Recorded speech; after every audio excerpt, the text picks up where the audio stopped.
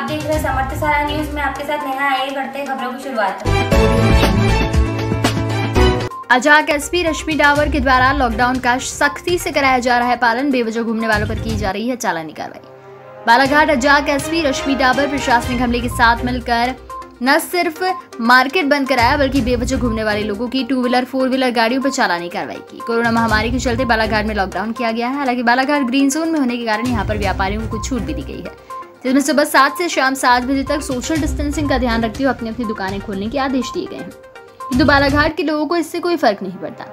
वहीं जनता व प्रशासन के कुछ लोगों द्वारा नियमों की झज्जियाँ उड़ाई जा रही हैं, जिसको देखते हुए पुलिस प्रशासन ने सख्ती दिखाकर लोगों की सुरक्षा के उद्देश्य से लॉकडाउन के नियमों का पालन कर तथा सोशल डिस्टेंसिंग का पालन करने को लेकर चालानी कार्रवाई शाम सात बजे बाद बेवजह इधर उधर घूमने वालों पर की गई। इस चालानी कार्रवाई से दो घंटे में दस हज़ार रुपए का समन शुल्क भी समन शुल्क भी वसूला गया।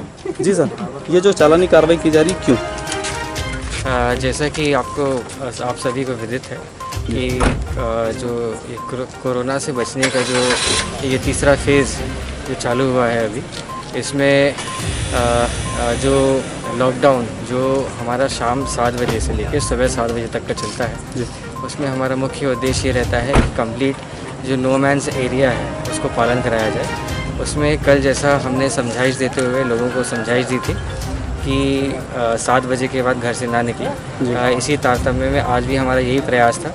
लेकिन थोड़ा सख्ती दिखाते हुए आज कुछ गाड़ियों पर चलानी कार्रवाई की गई है और लगातार ये कार्रवाई इसलिए की जाएगी ताकि लोग जागरूक हो सकें स्वयं सुरक्षा पे अधिक ध्यान दें ताकि जान माल की हानि ना हो।